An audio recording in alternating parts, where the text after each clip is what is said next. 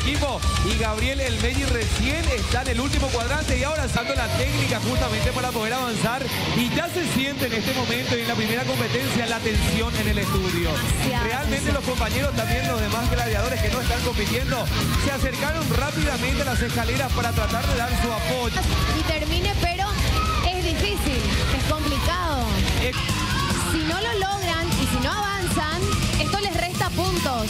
Ahora Gabriel lo logra. Esa es la mayor motivación que tienen que tener para meterle fuerza a la competencia. Vemos también nuevamente la preocupación que tienen Franco y Dani porque al estar bloqueado cada uno de los Mellis también esto le perjudica a ellos. eh, O tal Sí. vez le dé mayor agarre a la hora de subir por el caño.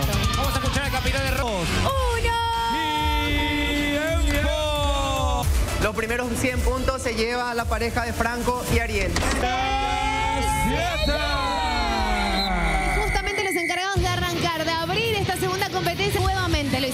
Competencia anterior y lo vuelven a hacer. Durante el corte, mientras los chicos también de los veíamos bastante sentidos y recurriendo a los amigos de Sasa que nos acompañan todos los días. Era que Dani se acercó a Gabriel justamente para hablar un poquitito, para bajar un poco esa tensión. Eh, quizás en ese caño realmente se hace mucho más complicado. Ahora le toca el turno a Dani nuevamente por la Furia Roja, que sí lleva un buen ritmo. Está peleando más que nunca. ¡Tres! dos, ¡Uno! tiempo. Los 200 puntos se lleva equipo conformado por Gabriel y Daniel. Nuevamente, Dani, estamos ubicados en una posición privilegiada. A Dani como a Franco, también a Ariel y a Gabriel compitiendo en la red. Una competencia sumamente intensa en la cual, fíjate cómo Franco entró con todo. La velocidad que le está metiendo es formidable, pero nuevamente se está dando el choque de Bueno, recién quedó trabado, justo ya se dirige rumbo a la Dani es el que va a tratar de darle la posta a Gabriel a una vez que sueco de amonestación en este trayecto. Ariel está aprovechando y su favoritismo a través de arroba calle 7 PY Muñe. ¿Cómo están los pálpitos por ahí? Por favor, contame. están bastante parejos. Hay una diferencia muy mínima entre Franco y Dani. a tomar ventaja ya en el último cuadrante. Seis minutos. Ariel que está muy retrasado. minutos. Por favor, Muñe, ¿qué está pasando en arroba calle 7 PY? Porque cuando ya prácticamente no tienen agarre. Y es por eso que utilizan la zona de los codos. El, que está aprovechando ese descuido del equipo amarillo es Dani. Que... ¡Tres! ¡Dos! ¡Tiempo! El equipo ganador de la última competencia fue conformada por la de Gabriel y Daniel. Ganadores de la última competencia y de este día son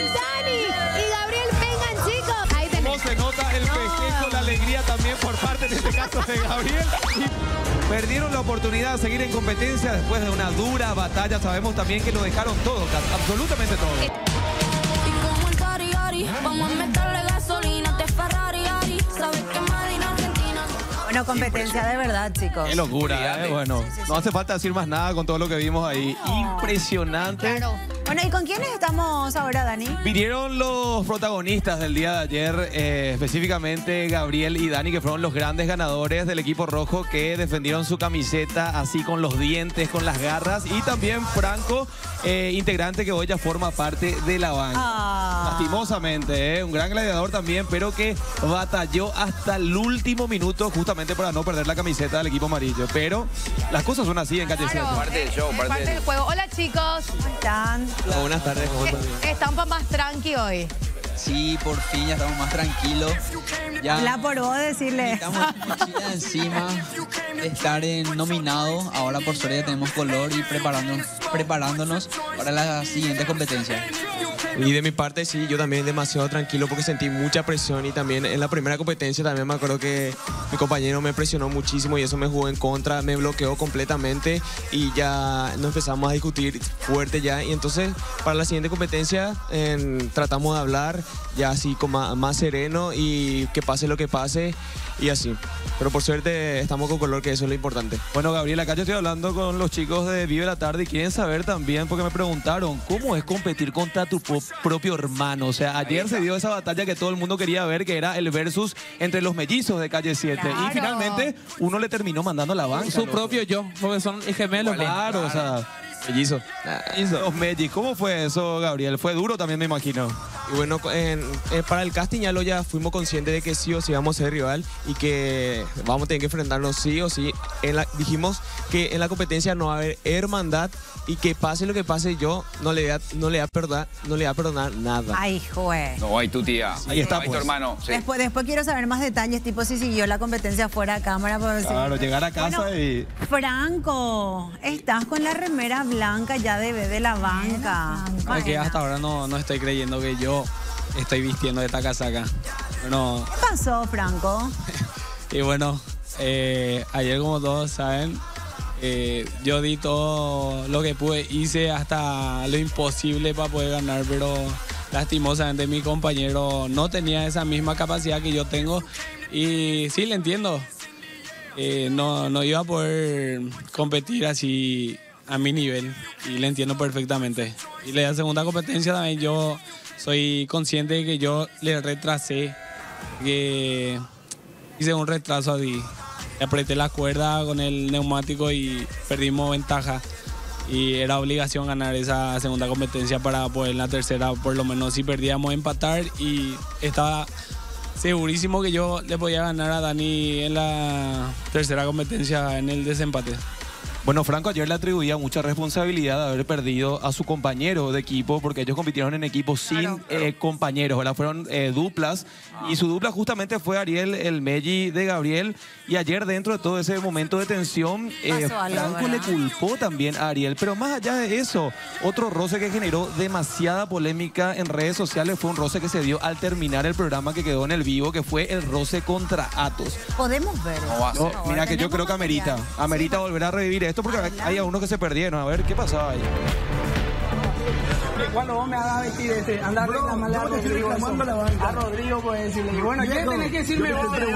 ¿Qué tenés que decirme ahora? a los compañeros en el pasillo. Sí, lo hice. ¿Lo haces? Lo hice y soy capaz de hacerlo. Bueno, y voy a hablar, hacer. voy a a en televisión. a. Entonces mentiste en vivo.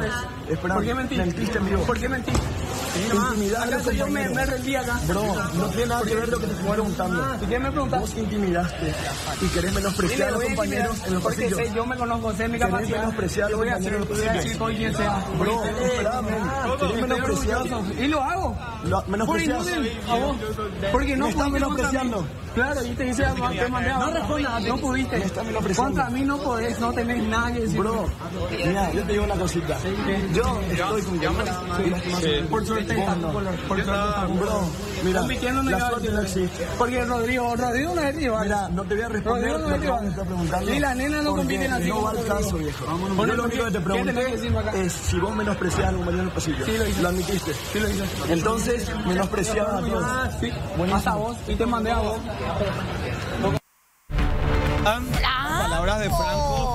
Sobre este video y esta situación puntual, todo el mundo, la fanaticada especialmente, hablando hoy y dando su parecer también.